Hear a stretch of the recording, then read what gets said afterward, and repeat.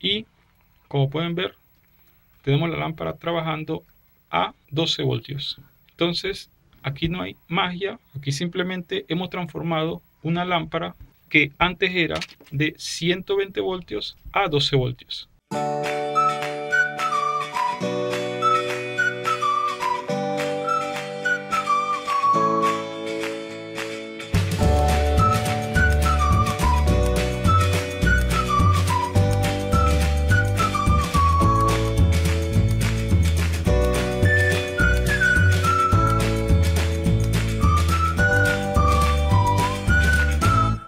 Hola, bienvenidos a mi canal sobre tecnología y soluciones ingeniosas. Bueno, en el día de hoy, como pueden ver, aquí tengo varias lámparas LED. Y el video que voy a hacer hoy es un video que me habían pedido desde hace un tiempo por los comentarios. ¿Qué es lo que yo voy a hacer con esta lámpara? Como ustedes saben, estas lámparas trabajan con 110 voltios, pero también funciona con lámparas de 120 voltios. Básicamente es lo mismo. Entonces lo que yo voy a hacer en este video es transformar una de estas lámparas para que sea alimentada con 12 voltios nada más, con una batería de 12 voltios. El método que voy a aplicar sirve para cualquier tipo de lámpara y bueno, yo voy a escoger una de estas para hacer la demostración porque no la puedo hacer con todos. Entonces vamos a dejar esta nada más. Esta lámpara, los que me siguen en mi canal pues ya han visto que he hecho varias pruebas con esta misma lámpara. Una lámpara normal y corriente. Voy a encenderla para que ustedes vean que funciona perfectamente. Bueno, entonces aquí ya tengo donde voy a conectar el foco LED. Y vamos a enchufar y listo para hacer la demostración. Como pueden ver la lámpara funciona perfectamente con 110 voltios. Entonces bueno vamos a desconectar ya no vamos a utilizar. Ok ahora lo que voy a hacer es lo siguiente. Vamos a sacarla con un momento y vamos a mostrarle que trae esta lámpara por dentro. Ok como pueden ver trae aquí los LEDs y es un foco LED con fuente capacitiva. Un foco LED muy sencillo.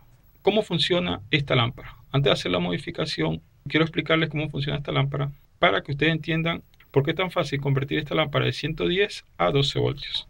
Déjenme mostrarles el esquema y les explico las etapas rápidamente.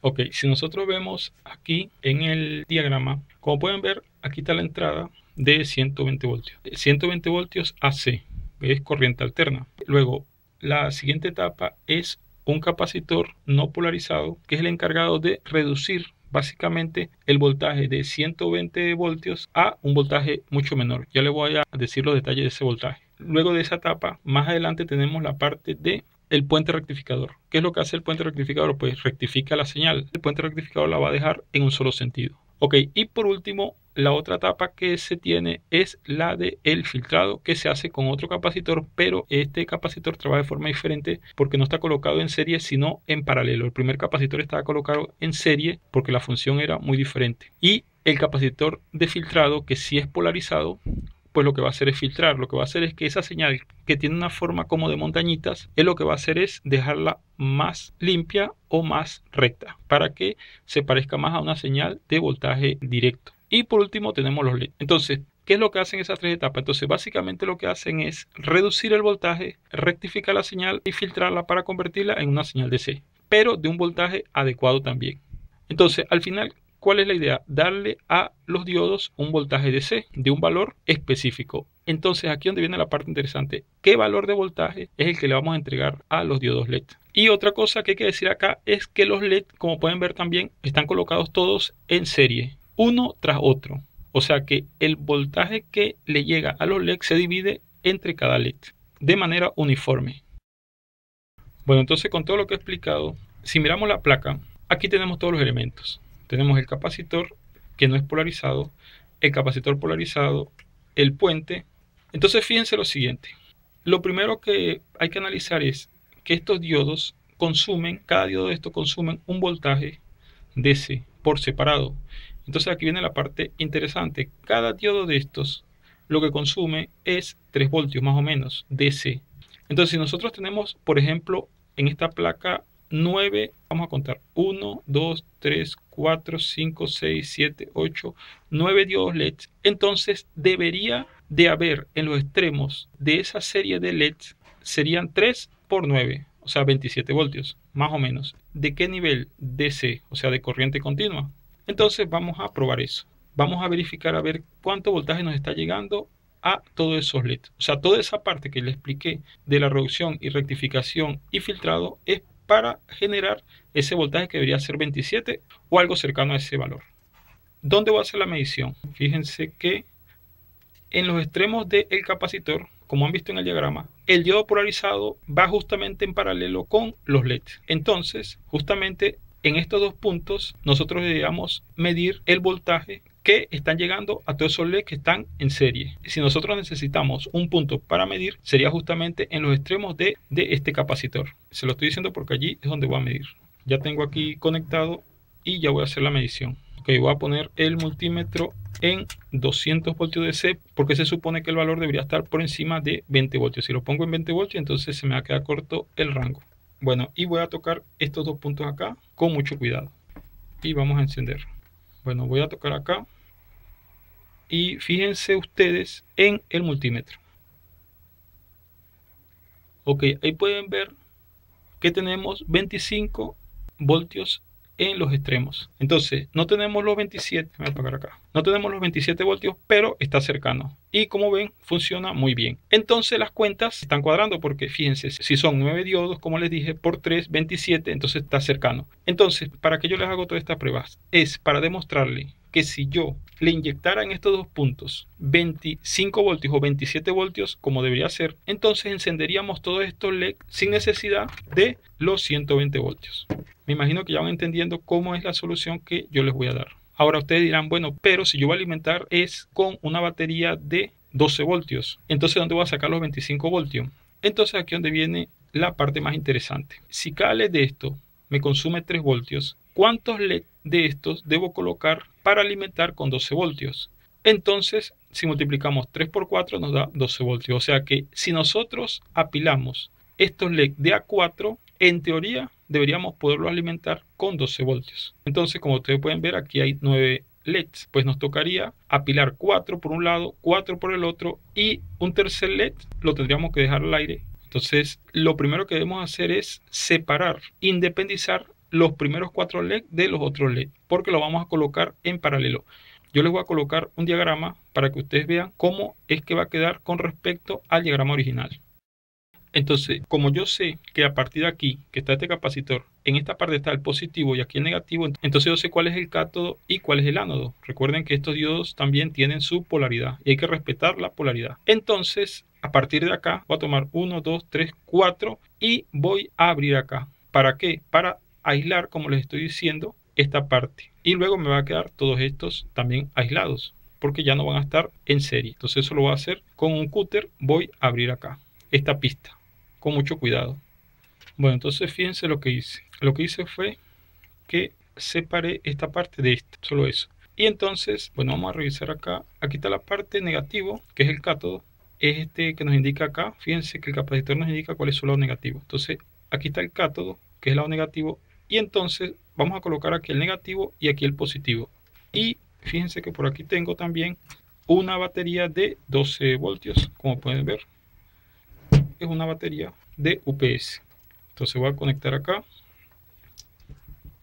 positivo y negativo. Para hacer la demostración a ustedes, obviamente tengo desconectado esto y entonces voy a conectar entre el cátodo, que es el negativo, que es este punto, y el extremo del cuarto diodo, o sea, el ánodo del cuarto diodo. Como pueden ver, enciende los cuatro LED y los enciende perfectamente. Entonces, los otros cuatro LED también lo podemos encender. Vamos a limpiar esta zona acá. Ok, entonces ahora voy a conectar el positivo con el positivo del capacitor. Y el negativo en este punto de acá, que es el cátodo del cuarto diodo del lado de acá, del lado derecho. Y como pueden ver, entonces también los diodos se iluminan perfectamente. Entonces, como ustedes han visto, he iluminado 4 diodos y 4 diodos con la batería de 12 voltios. Ahora, ¿cómo hago para iluminar los 8 todos a la vez? Entonces lo que debo hacer es hacer unos puentes para que estos diodos queden en paralelo. Entonces ya lo voy a soldar y les voy a mostrar cómo va quedando.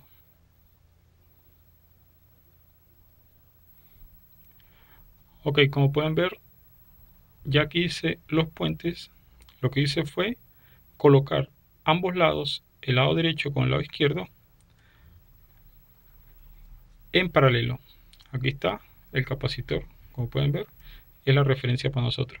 Ahora, si yo conecto la batería en el positivo y el negativo, entonces aquí, aquí va el positivo y aquí el negativo. Entonces, como pueden ver, se ilumina toda la placa con los 12 voltios.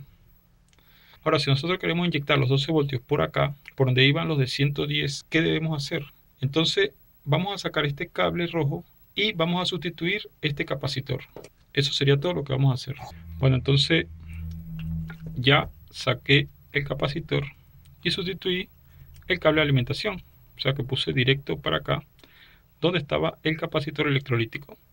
El positivo lo dejé en el del medio. O sea, este de acá es el positivo y este es el negativo. Si lo colocan al revés, no enciende. Entonces, hagamos una prueba para que ustedes vean. El negativo aquí y el positivo. Y enciende la lámpara. Ahora vamos a colocarla acá. Como ya viene de forma original, vamos a taparla. Vamos a conectarle esto. Vamos a quitarle estos caimanes que están acá. Vamos a conectarla aquí. Y con la batería vamos a conectar el positivo que es este y el negativo. Entonces conectamos el negativo y el positivo. Y como pueden ver, tenemos la lámpara trabajando a 12 voltios. Entonces, aquí no hay magia, aquí simplemente hemos transformado una lámpara que antes era de 120 voltios a 12 voltios. Y acaban de ver todo el procedimiento. No es algo muy complicado hacerlo, sino que una pequeña modificación. De todas maneras, con el diagrama que le he dejado por allí, pues se pueden guiar también mejor.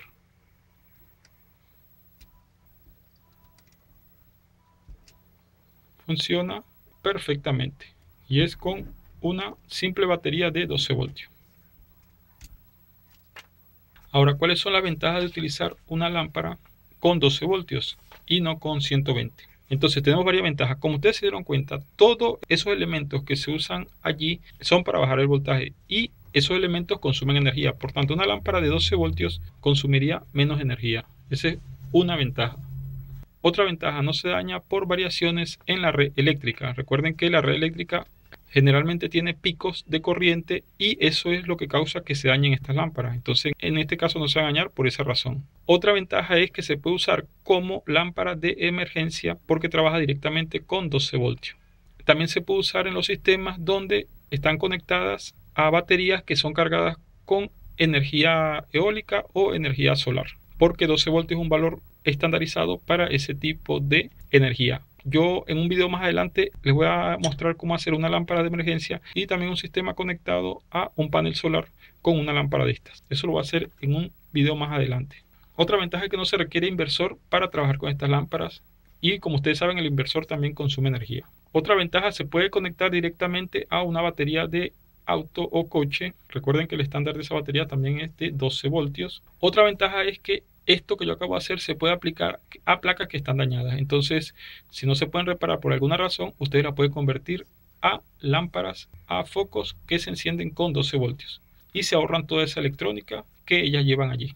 Otra ventaja es que con esta modificación yo no he afectado la electrónica de la placa. Como ustedes se dieron cuenta, simplemente saqué el capacitor y si yo vuelvo a conectar el capacitor y quito esos cables que yo, yo puse allí, la lámpara seguiría funcionando como era originalmente. O sea que yo no dañé para nada la lámpara original. Lo que hice fue hacerle una pequeña modificación de una manera muy simple para que ustedes lo pudieran hacer también.